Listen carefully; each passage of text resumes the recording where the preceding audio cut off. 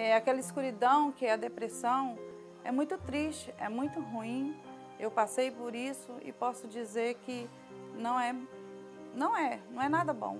Antes de eu conhecer a Novo Tempo, eu tinha uma vida assim totalmente diferente da que eu tenho agora, né? Antes da, de conhecer Novo Tempo, eu tinha uma vida de forró, né? Diversões diferentes da que eu tenho hoje. E a alegria era sempre passageira, né? Até que um dia é, veio a, ocasião da morte do meu filho, né? De 10 aninhos. Ele faleceu e aí veio aquela depressão profunda, né?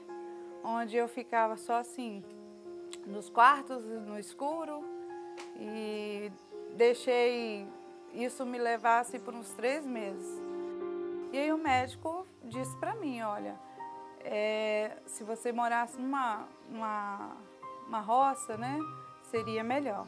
E aí, com a dificuldade dos meus filhos, que gostariam muito, né, gostavam muito de televisão, eu optei por colocar um canal, né, a cabo, né, uma TV a cabo.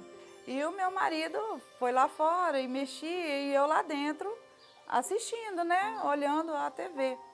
E aí de repente aparece um, um pastor pregando e aí eu fiquei assim apaixonada por aquele por aquele pastor tão sereno, né, que eu ao contrário do que eu já conhecia, que via nas TVs, né?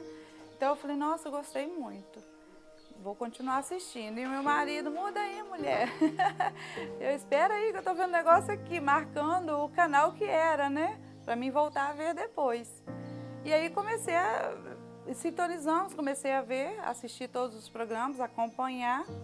O próximo que eu assisti foi Quateru. E depois do vídeo de saúde, eu comecei a assistir o pastor Luiz Gonçalves. Uma coisa diferente. E, e, o que me chamou a atenção é que ele mostrava assim tudo na Bíblia, né? Coisa que a gente não estava acostumada, eu não estava acostumada a ver. E aí eu entendi o assunto sobre a morte, né? Que eu via o pastor Luiz Gonçalves falando.